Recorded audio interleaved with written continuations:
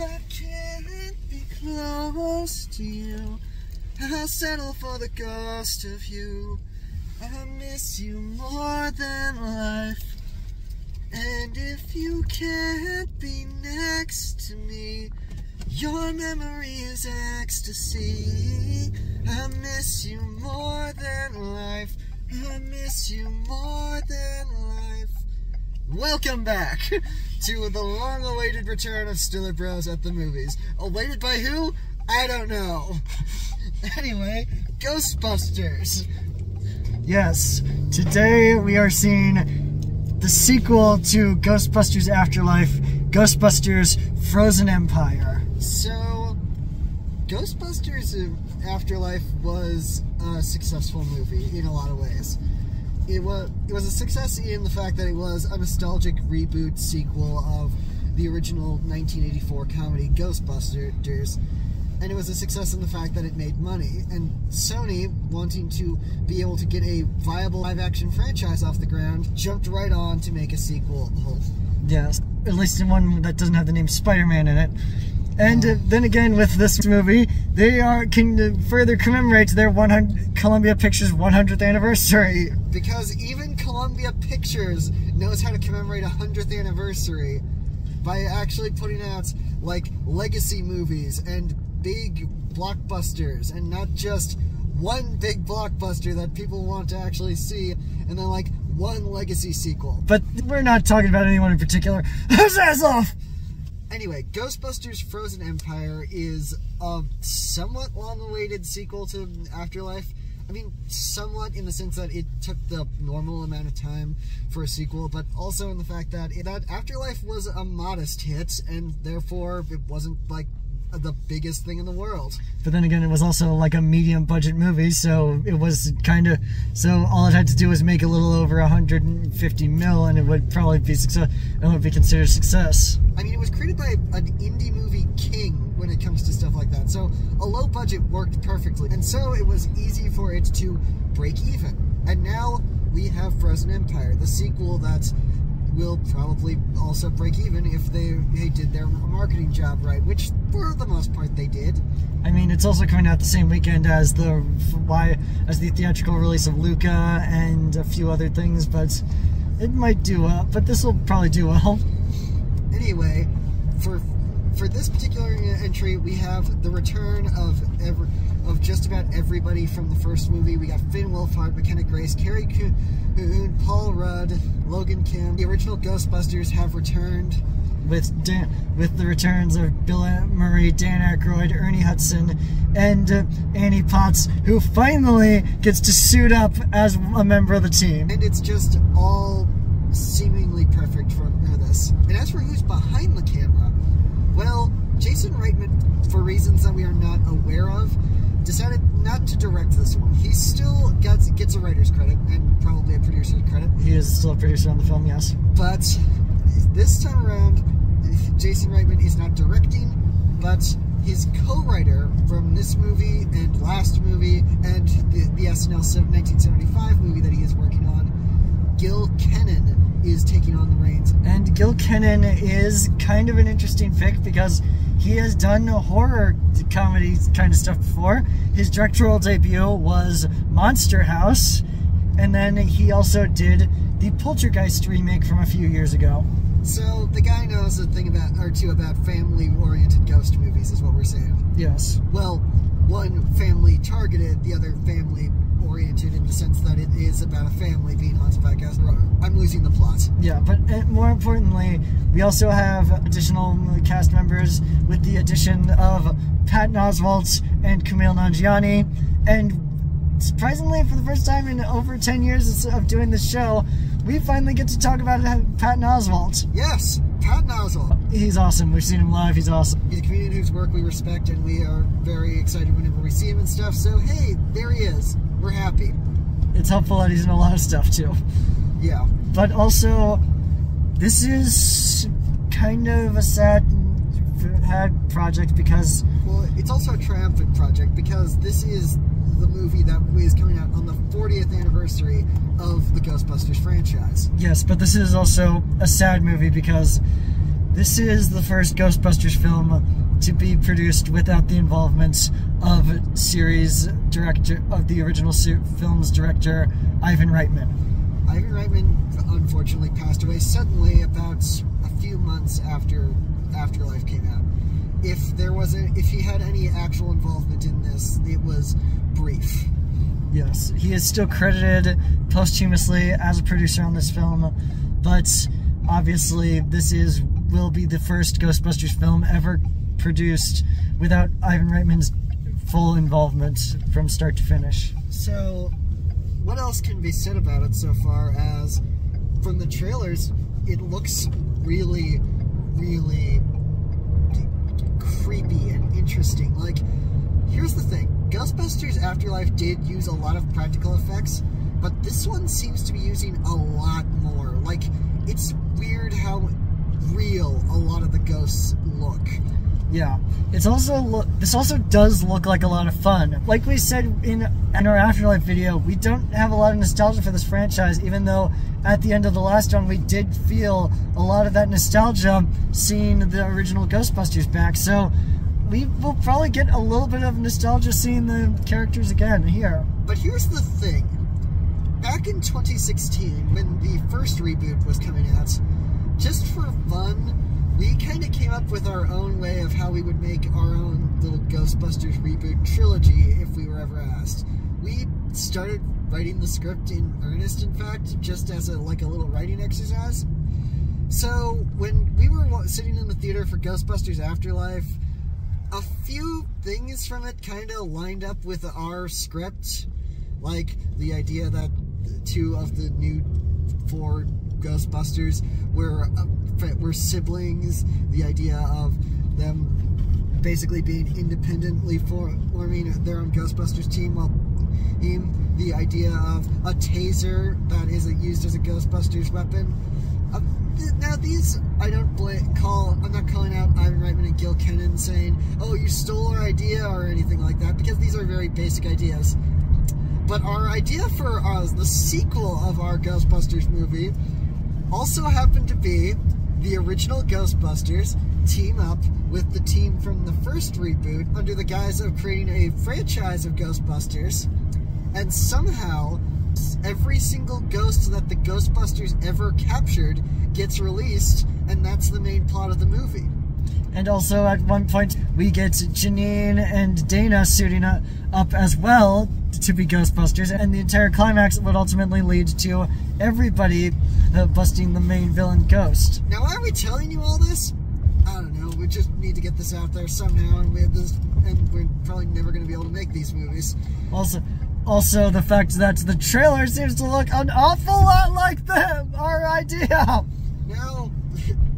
Lot of specifics are not in there. Obviously, we didn't plan on the characters being teenagers, or we didn't plan on the second movie to have a, like a weird Frozen in the title or anything like that. But it's just kind of interesting how these connect. All I'm saying is, Ivan Reitman, Gil Kenan, if you somehow have a way of hearing us while we're planning out our movies, please contact us directly and just get us into a writer's room so that we can actually get credited for when you're stealing our ideas. Yes. That would be nice. How long has this bit going, gone on for? Too long, but we're still going through with it, damn it! Yes. And also, speaking of trailers, real quick, we're going to be seeing the Beetlejuice 2 trailer uh, for the first time on the big screen with this, so... Unless we are not, in which case I will cut this part. We might just touch on it a little bit when we get it out of the theater and if we have nothing really to say about the movie. Assuming that we even remember the trailer, because here's the thing. Ghostbusters Afterlife was over two hours long. It was a chunky boy. Yes. But Ghostbusters Frozen Empire is a bit shorter. It's only slightly below two hours. I think it's only like I think it's only like five minutes below two hours, and we're gonna be staying through the credits because we don't know how, what they're gonna be doing at the end. So we're going on this whole series of tangents because we don't know what else to say about the movie because all we know is a bunch of people are in it. We know that a lot of people who are, were fans of the real Ghostbusters are saying this is, seems an awful lot like a plot to an episode of the real Ghostbusters. We never even we have never even seen a single episode of the real Ghostbusters. And now it's off streaming. Anyway, that's it for right now, I think. Yeah. So, uh, we'll see you after the jump. So, we're out, and I think I liked Afterlife a little bit better, but this is still pretty solid. Yeah, this was a pretty good one. And look, Sony decided to market a big ass marketing campaign by having it freaking snow. Sony, I know you guys are like celebrating your hundredth and everything, but did you really have to try cloud seeding for viral marketing? Yeah. But um let's get into it a little bit. So, I think one of the biggest things that made me, that me like after still like Afterlife a little bit more was the fact that with all the elements that are kind of loose in this story, it feels like no one gets their equal time. Yeah, it uh, I mean, we do get a little bit of ti extra time with Phoebe over everybody else, but That's mostly because she was the main, one of the main, the bigger character in the first one of these, and so obviously they're going to continue on her character arc from the first one. yeah. Trevor uh, probably gets it the worst when it comes to getting a lot lot less time because there is a brief bit with him and Slimer, but it doesn't really last that long. It's only really like two scenes. And it really feels like they're calling back to a different Bill Murray movie with it. Yeah. Like, like it's funny when you suddenly realize, oh my god, is this Caddyshack? But still, it's a little interesting that they didn't stretch this too further in the movie and everything like that. But then again, Finn Wolfhard's character Trevor has not exactly gotten the bulk of the character growth throughout throughout these movies so far. Yeah. Speaking of Bill Murray, of the original cast, he is the one who probably gets the least amount of screen time. Because Ernie Hudson gets kind of an arc. Dan Aykroyd gets to hang around as an extended cameo and basically mentor figure to the to the main cast. Annie Potts shows up a couple of times to remind everybody that Janine is still here and Annie Potts is still funny. So it really, it's just kind of Bill Murray we get in like two scenes, which makes sense because he's the reason why Ghostbusters 3 never materialized when Harold Ramis was alive. Yeah, he was. Yeah, he was the one who was always like the script isn't good enough for me, and that's why they never ended up getting a Ghostbusters 3 done when all four of them were alive. Unless you count that video game that they did with all four of them in it. Yeah. However, it is, I will say, as people who were not born until almost a decade after the first movie came out, it is very, still very nostalgic to see all of them together. Yeah, it's still fun to see the original Ghostbusters back together in uniform, still making the same in-character quips that they always did in, the fir- in that first movie. And tonight has just kind of felt like the evening of nostalgia for something that came out before we were bo- a considerable amount of time before we were born, with the fact that we also got to see the Beetlejuice 2 trailer. Yeah, it's fine. It's fine. Like, there's not much to it. It's just basically, hey, look, we got Jenna Ortega. Hey, look, they're singing Dale. Hey, look, Winona Ryder and uh, Catherine O'Hara are back. Hey, look, Michael Keaton can still do the Beetlejuice voice. But it still looks very exciting to see. But Anyway, back to the movie at hand. Kumail Nanjiani is of the new cast is pro- in it the most because uh, so he's really got some funny stuff to him as well. And Logan Kim went through a bit of a growth spurt between the two movies. Like, I almost didn't recognize him when he first showed up. But then again, that's what like almost five years will do. Yeah, but it was just a case of he showed up and I mostly just recognized that it was him through the context clues that he was standing next to Dan Aykroyd. And then Celeste O'Connor in this movie qu- will be doing a slightly bigger role than she did in Afterlife, and proving that she could be in a good Sony movie that didn't have the entire internet collectively stand up and say, "No, no, thank you, no, uh, no, thank you." But one of the things that this movie does differently than the other Ghostbusters movies, that while they all seem to be comedy with horror elements, this one seems to dive further into horror, and I mean like big, dark, dense, dark horror. Yeah. Not like the. Whereas the original Ghostbusters movies, and along with 2016 and Afterlife, always kind of went for more of a Halloween style horror, like just fun, kiddie stuff. This one kind of leans more into you want to get scared, you can get real scared. Yeah, it's um, still very kiddie horror. It's not like we're sitting in there for The Omen or something, even though we got a horror movie trailer before this movie with that new movie Tarot. Doesn't look great. No, but then again, and was it ever going to be great?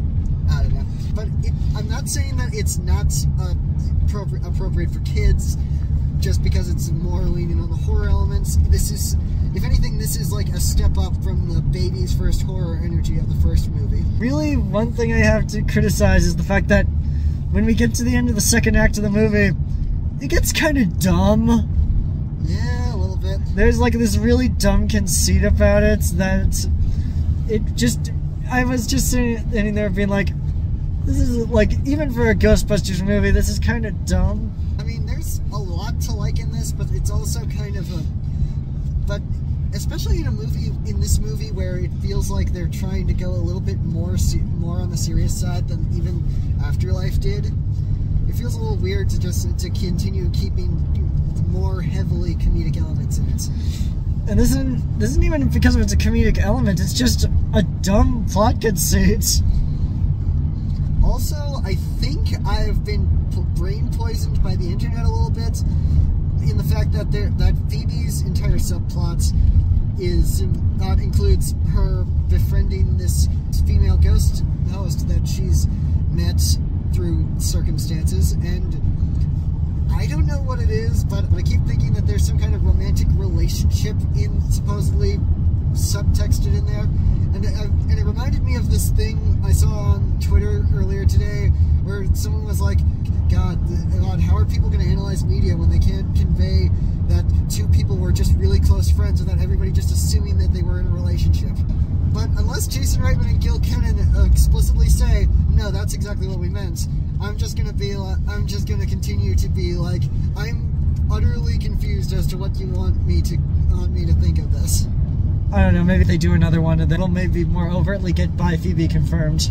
Either way, this one is kind of kind of ends a bit more on the ambiguous side of whether or not they want another one.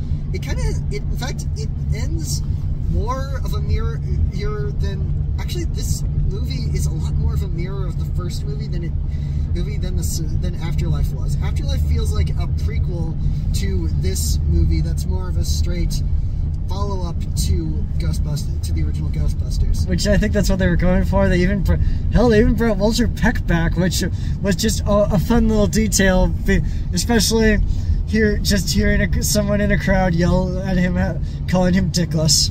And of course, the fact that the very end of the movie seems to be more or less a tribute to the original movies, movies, movies ending of the Ghostbusters just kind of going through crowd, just going through a crowd and celebrating the fact that they uh, that they won. Uh, Spoilers. Spo- yeah, spoilers. But it also just kind of has the, unlike the original Ghostbusters, it also has a wrap up of the character arcs because, well, the original Ghostbusters, Ghostbusters did have certain character arcs. It did, wasn't built around characters. They don't change. They don't change or grow. But in this movie, they had to change and grow because they. Uh, because this also needs because this needs to be a movie with characters actually developing and everything like that. Also, it would be nice if next time around they didn't have a dedica- They didn't have to, um, uh, to begin the credits with a dedication card to a, a card to one of the key creatives that ma- helped make this franchise exist in the first place. Unfortunately, that may or may not be a an inevitability depending on what happens. I mean, Ernie Hudson seems to be taking care of himself, Yeah, and uh, Dan Aykroyd, Dan Aykroyd, Lloyd, and Annie, and Annie Potts all seem fine. It's Bill Murray who's the one who looks the most most like he like all the years have passed. like we were like when we watched Afterlife last night, we saw the mid-credit scene with him and Sigourney Weaver, And uh, Sigourney, and he aged like cheese, and she aged like fine wine. yes, So, sorry don't to, do drugs, kids. not to rag on Bill Murray any more than he's already been ragged on throughout the years. Yes, but don't do drugs, kids. Do not do drugs. But, yeah, I think that's it. Yep. Ghostbusters Frozen Empire is fine. It's a good movie. I didn't. I don't hate myself for watching it, and I don't hate the filmmakers for putting it for putting it out there. All in all, it was a solid evening at the movies. Yeah, it's solid. Afterlife is still a little bit better, but it's. Uh, but I don't, I don't begrudge this movie at all. If they want to make another one, I would be all for it. Yeah. So that's it for right now. Be sure to like this video, subscribe to this channel, leave in the comments what you may or may not have thought of Ghostbusters Frozen Empire, and don't forget to tune in next time when you're a diesel if I ever saw one. Bye. Bye.